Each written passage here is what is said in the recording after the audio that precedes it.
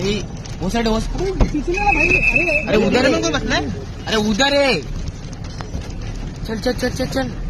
पिछले कुछ दिनों से बच्चन परिवार खबरों में खासा छाया हुआ है और इस टाइम पर जो खबर सुनने में मिल रही है बच्चन परिवार की तरफ़ से, वो है आराध्या बच्चन की तरफ़ से। बताते चले आपको आराध्या बच्चन के बारे में बताते चले आपको इस टाइम पर उनकी तरफ़ से आने वाली बुरी खबर के बारे में। तो ये खबर है की आराध्या बच्चन भारत को छोड़ने वाली है। आखिर क्या वजह है, क्या बुरी खबर है? क्या इतनी बड़ी बात हो गई की आराध्या बच्चन को भारत से जाना पड़ा? आपको बताएँगे, मगर आगे बढ़ने से पहले अगर आपने हमारा चैनल सब्सक्राइब नहीं किया, करते जाए। बताते चले आपको राधिया बच्चन के बारे में तो पिछले कुछ दिनों से उनका एक केस हाई कोर्ट में चल रहा था जो भी जितने भी यूट्यूब चैनल्स हैं जितने भी बड़े से बड़े चैनल्स हैं टीवी न्यूज़ के चैनल जो कि आराध्या की हेल्थ के हवाले से बहुत बुरी खबरें लोगों में फैंस में फैला रहे थे उनके खिलाफ आराध्या ने हाई कोर्ट में अपील की और सारे के सारे हाई कोर्ट ने उन, उन चैनल्स को डिसऑन कर कर सारा इख्तियार सारा जो अगर आप ये कहें कि ऑनर है वो सिर्फ़ आराध्या के हाथ में देकर कहा कि आपने जो जो वीडियोस रिमूव करवानी है आप बता सकती हैं। और at the end of the day वो सारी की सारी videos with the support of इनके माता और पिता यानी ऐश्वर्या और अभिषेक की सपोर्ट के साथ आराध्या ने उन सारे के सारे यूट्यूब चैनल्स और टीवी चैनल्स की